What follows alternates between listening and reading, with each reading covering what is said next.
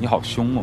你为什么这么大的财产的动向，你为什么不可以跟他商量？虽然他不懂，你至少要通知他一下，因为毕竟这二十七万当中，大部分的存款是他在努力。画面中被涂磊怒斥着的男人名叫小进，那么他到底做了什么事，竟惹得涂磊老师说出这样的话呢？原来就在他妻子小燕的不断控诉中，众人得知了这样一件事。然后前一个月我往我们的卡上面存钱的时候，我发现我们两个这一年多存的二十七万。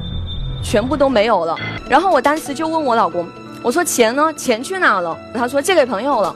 那么小燕为什么会怀疑是自己丈夫拿走了存款呢？家住湖南长沙的小燕，今年二十八岁，已与老公小晋隐婚两年之久。本来两个人的日子过得甜蜜又幸福，可就在不久前，两人却因为家中二十七万存款离奇消失一事而发生了冲突。然而，就当小燕逼问丈夫钱款去了哪里之时，丈夫却一直不正面回答自己，无奈之下的她只好求助到了节目组，希望能帮助她弄清丈夫的真实想法。她就是不告诉我借给谁了。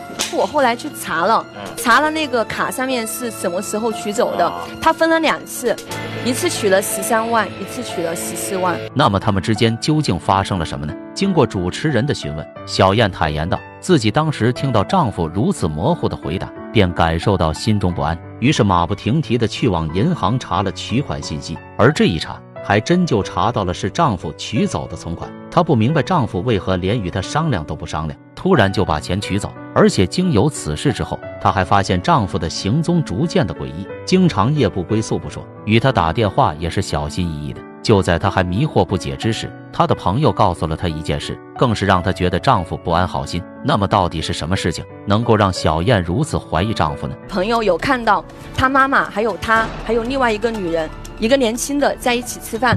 然后我就问他，我说你是不是又去相亲了？你现在已经结婚了，但是她什么都不跟我说。据小燕所说，其实她与丈夫之间的结合从一开始就存在着问题，只是当时两人一是深爱对方。二是冲动，所以才领了证。原来小燕和小晋之所以一直隐婚的原因，就是小晋的妈妈看不上小燕的家世，因为小燕家是普通家庭，而小晋家是属于比较富有的，所以小晋的母亲便认为两人是门不当户不对，于是从一开始就很不满两人的恋情，并认为小燕是贪图他家钱财。所以才与自己儿子在一起的，但是小晋却并不相信妻子是爱财之人，于是就在冲动之下结了婚，却一直没有勇气公之于众，让其母亲知晓。而他们本来的想法就是早早的存够钱买个房子，再向父母坦白结婚一事，也希望以此能够证明小燕并不是贪图小晋家钱财之人。但是谁知小晋竟偷偷的拿走了所有的存款。而小燕一开始只是不理解丈夫的异常行为，可经历了朋友的告知，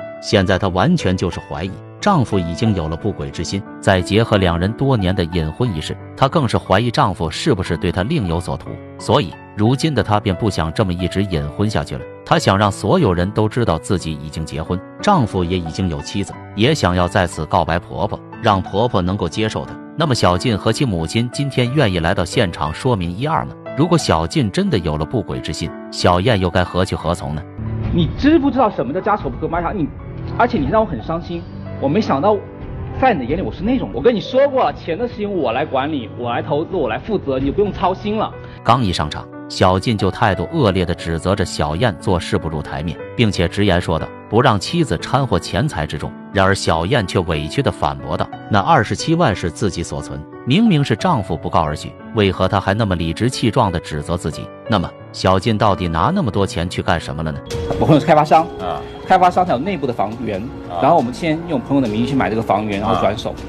哎呦，这炒房是难听炒房啊，但是这个还比较来钱快。面对众人的疑问，小晋终于愿意吐露出自己拿钱做了何事。原来。对于两人一直隐婚未被母亲认可一事，小晋也非常着急。他也知道妻子想要通过买房来向自己的母亲证明，并不是为了钱才和他在一起。看着妻子每天如此辛苦，于是他便经由一个朋友的指导，步入了炒房变现的途径。那么，既然他也是为了两人的未来着想，为何他不愿和妻子说明原因呢？你懂吗？这些你懂吗？投资不是你今天投明天就能还，你有没有理财观念啊？小晋直言表示。自己在这件事上确实没有太顾及到妻子的想法，但是对于妻子的质问，他也表示都是妻子不明白这里面的曲折，所以才不让妻子知道那么多的，免得妻子知道后担心。那么对于丈夫的解释，小燕愿意接受吗？他开始跟我说就好了，我要给你一个惊喜。惊喜需要时间，好不好？不是说今天准备，明天真的有惊喜。你买房那么容易吗？那你开始跟我好好说，你跟我商量，你一夜之间把这个钱取没了，那我怎么想？我觉得很我真的不知道那笔钱对你那么重要，我只是在充分利用资金而已。而且刚才你也没有听到嘉宾们都在那里说说你有其他女人啊。场上的小燕不断诉说着自己对丈夫做事行径的不理解，而其丈夫也一直在反驳妻子。看着丈夫总有那么多的说辞，小燕最后终于忍受不了，发了好大一场脾气。可丈夫还是没有认错，反而对她也开始吼叫。为什么小静还那么大脾气呢？所以我就说我就说你不知所谓。你说那些话我都不明白，我好好一个怎么变成那个样子了？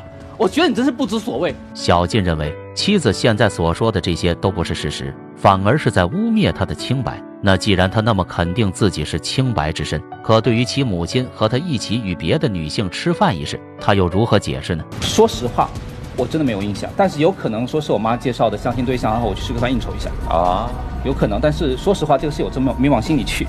对于小静的一番风轻云淡的解释，就连涂磊老师都忍不住提出质疑：为什么他不愿意把妻子带回给其母亲看，反而还接受母亲的不断相亲？而小静却回道：这都是他应该做的。可如果他一直这样做，不仅欺骗了他的母亲，还伤害了他的妻子，难道他们要一直这样隐婚下去吗？我们是有一个计划的，因为我们我们实际上差不多明年的话呢，我们就能差不多，如果顺利的话，买到房就向我们公开。对于众人的疑问，此时的小进终于愿意说出两人的计划，可这个计划却遭到了众人的反对。于是涂磊老师便怒斥道：“他这样做根本就是在耽误小燕的未来，这是怎么一回事呢？”你买套大房子就能证明你们俩是真爱啦，就是不贪图你们家钱啦，可笑嘛？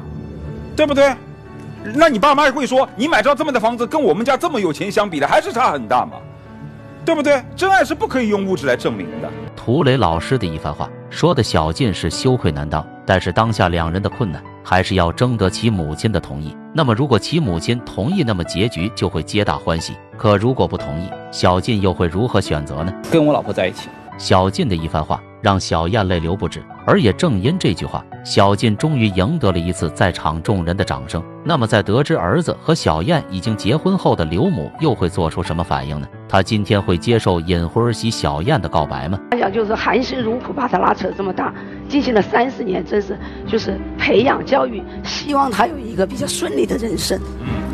那么这两天呢，他他还是说了，他既然已经领了证了，想让我到这个地方来呢，嗯、听他给我一个合理的解释。在开启告白之门之时，小静和小燕都是非常忐忑的。但是当他们看到刘母的到来之时，他们却很是惊喜。可刘母的一开口，却直接表现了今天要赢得他同意一事不可能进行的那么顺利。因为刘母正是因为知道两人已婚之事，所以才导致了气急攻心，最终留下了嗓子嘶哑的症状。那么对于两人之事，刘母到底有着什么样的看法呢？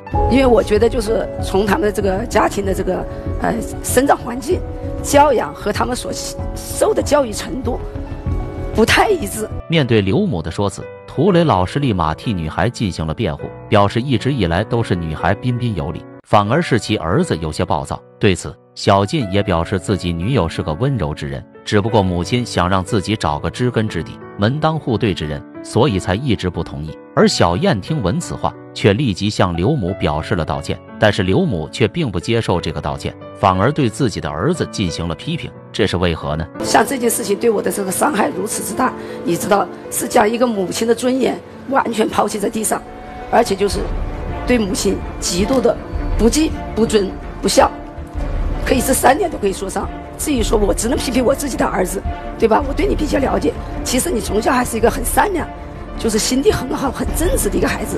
那么为什么现在就是说，可能也是受受社会上很多这个不良因素的影响，啊，有些东西就是做出这样的事情来，我是非常痛心，有时候可以说是非常失望的。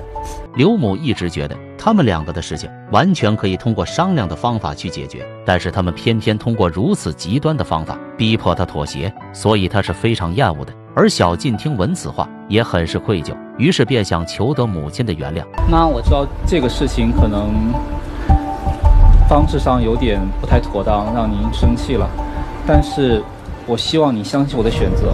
小静极力地向母亲诉说着妻子的好，也希望母亲能够相信自己的选择。于是，在小静的真情表露下，刘母最终表示愿意同意他们的婚事，但这也只是因为两人的婚姻受法律保护而已。如果要让他完全认可，还需要他进行一段时间的观察。最后，真心的祝福两位能够幸福的生活下去，也祝愿他们能够早日赢得刘母的认同。其实，一个人对另一个的失望，从来都不是一蹴而就，而是在一件一件小事上逐渐消耗对彼此的信任感，失望越来越多，距离也就越来越远。所以，夫妻之间要做到沟通、信任、包容、理解、责任，真的很重要。只有做到这些，才能长久，才能白头到老。那么，看完本期视频的你，对于这场在婚姻中发生的矛盾，又有着什么样的高见呢？欢迎各位在评论区积极互动留言了。